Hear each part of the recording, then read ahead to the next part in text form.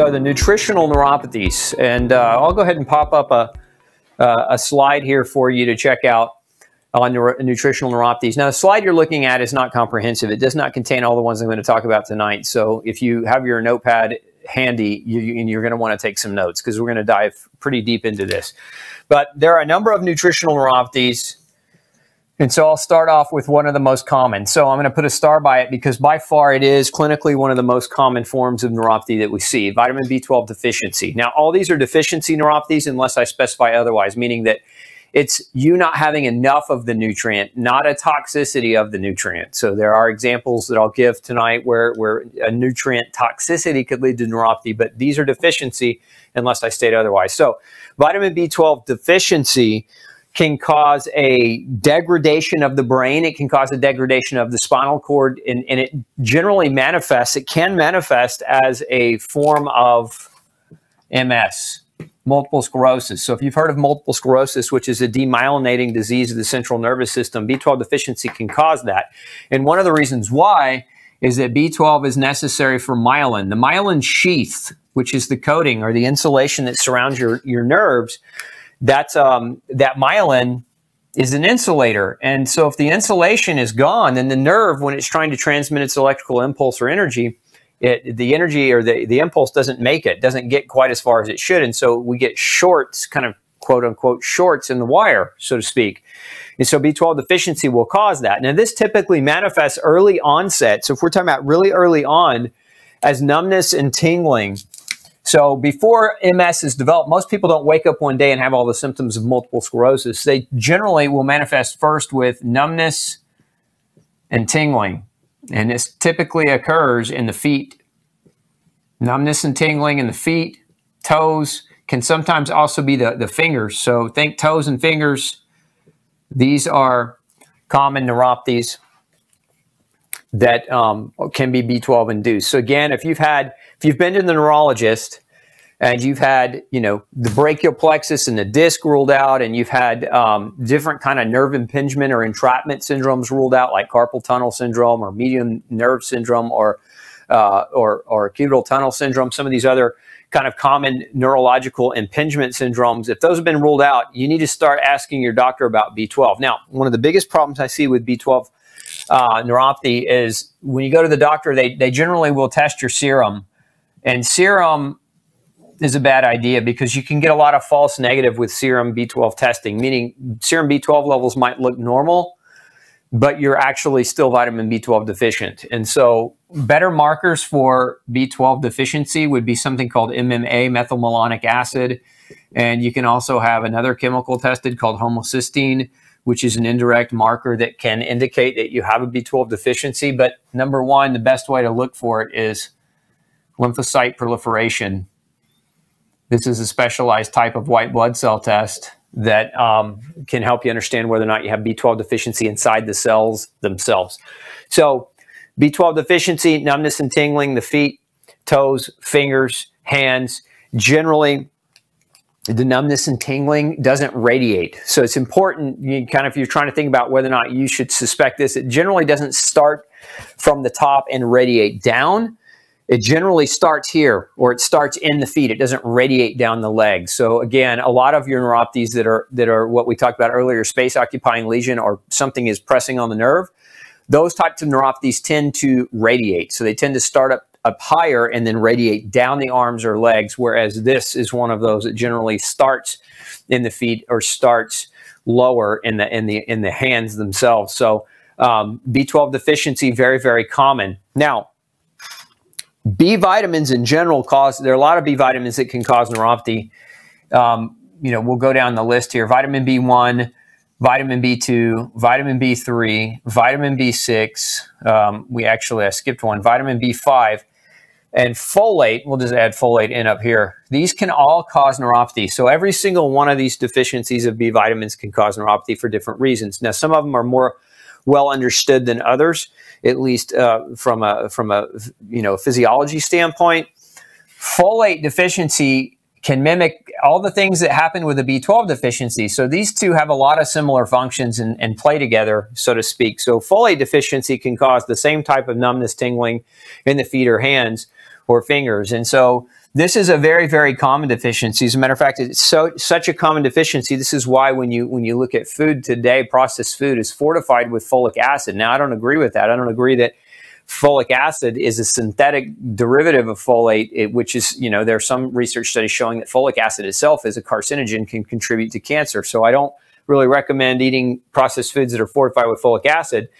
But it's such a, my point is it's such a common deficiency that the government stepped in and started fortifying foods to prevent neurological types of problems, especially in pregnant women um, giving giving birth to, to new babies. Neural tube defects is, is an example of a nerve uh, uh, of a, a, poor development of the nervous system that can lead to a number of problems like cleft palate, um, etc. So folate. Uh, very commonly a cause of neuropathy. Vitamin B1 deficiency, also known as beriberi, um, causes what's called a wet neuropathy. Um, and so this, this type of neuropathy is, is generally because beriberi affects the production of something called acetylcholine. Acetylcholine is a neurotransmitter, and you need acetylcholine um, you need acetylcholine so that your nervous system can communicate to your muscles and your nervous system can communicate to your organs and your other tissues. And so, a de- long-term deficiency of, berry, or, of vitamin B1 can lead to acetylcholine depletion, meaning you don't make the neurotransmitter necessary for most of your nerves to communicate, and so neuropathy can begin to develop. You've also got vitamin B2 deficiency, and this can cause demyelinization as well. So, demyelin of the nervous system, just like vitamin B12. So B2 and B12. But there's also another type of uh, suspicion behind vitamin B2 in that you need vitamin B2 to produce glutathione. And glutathione is one of the most powerful antioxidants in the body. And as an antioxidant, uh, it helps to protect and preserve nerve tissue. So, um, two different ways potentially that vitamin B2 deficiency could cause it. Now, B3 generally doesn't cause this type of neuropathy. B3 deficiency we'll call it more of a central problem because it leads to kind of think of it as cognitive decline right? So cognitive function versus versus numbness tingling and that kind of thing you might get memory problems or word recall issues. You know dementia is a late stage pellagra which is what vitamin b3 deficiency is. It's called pellagra. That's the name of the disease but it causes cognitive decline and that's a form of neuropathy too. So sometimes when we're talking about neuropathy, you know, we're talking about pain and numbness and tingling and that kind of neuropathy, but this is also a form of centralized. Remember, I said central and peripheral neuropathy. This is a form of central neuropathy. Then you've got B6. Now, B6 is unique because B6 deficiency can cause neuropathy, um, but so can a B6 toxicity.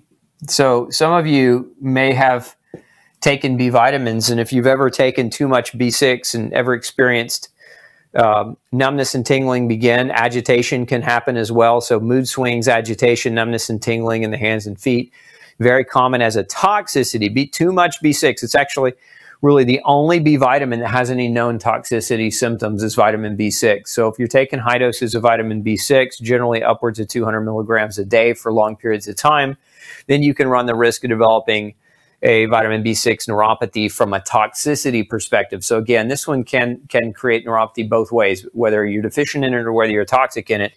And then vitamin B5. Now this one's really unique in the way that it presents. This is oftentimes referred to as the burning foot neuropathy. So if you get burning in your feet, that's kind of a hallmark or classic of vitamin B5 deficiency. So that burning foot or burning feet neuropathy or nerve pain uh, is very, very common in vitamin B5 deficiency. So, again, your B vitamins as a family are very, very important for neurological function. And so, a deficiency in literally any one of them can contribute to neurological types of symptoms. So, you've got to be careful. Again, if you're struggling with a mysterious neuropathy and don't know why, we go back to testing, right? Just like I said here, this is for B12 up here, but you could we could, just put a little star by lymphocyte proliferation because this can be used to measure all of these. The only thing that you can't do with lymphocyte proliferation is measure for a vitamin B6 toxicity. And for that, you'd run, in this case, this is where you would run a, a serum B6 level to see if the level's too high.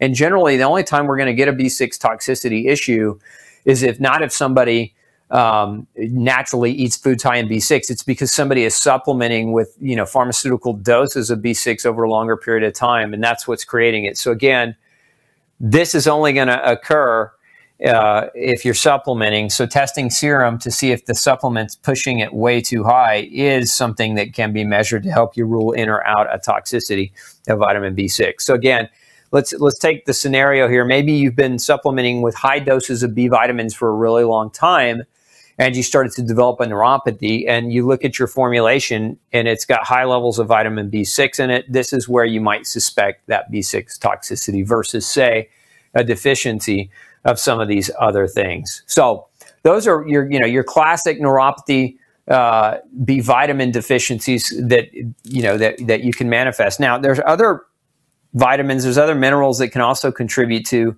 neuropathy. And so I think we'd be remiss to not mention some of these. One of them is vitamin E. Now, vitamin E has been really well researched as a cause of neuropathy. Uh, so vitamin E deficiency can lead to, and this has to do for vitamin E is is is a strong, potent antioxidant. And so some nerve damage is caused as a result of pro-oxidation. So damage and inflammation that causes oxidation. So you need antioxidants. So if your vitamin E is, is low and you're getting exposure to oxidation or a lot of oxidants, um, you can start to develop a, a, vitamin E neuropathy as a result of that. So vitamin E, very, very important. Again, one of those that can be tested for, can be checked. Additionally, uh, this another really quite common one is copper, copper deficiency. So copper, just like vitamin B2 and vitamin B12, Copper helps produce the myelin sheath. Now, there's two roles that copper plays. One is in its production of the coating around your nerves. The other is as an antioxidant. Copper runs a system in your body called superoxide dismutase, um, or SOD. SOD is, a, is an antioxidant system. It's a very potent antioxidant system. Again, it preserves the integrity of your nerve tissue. So, between the production of myelin and as an antioxidant, copper deficiency can contribute to neurological symptoms as well. So, Again, these are some of your common ones. Hey, and if you missed the earlier part of this series, click right here so you can go back and get caught up. The information there might be critical to helping you on your path to better health. And as always, thanks for tuning in. Make sure you subscribe for updates below. Have a great day.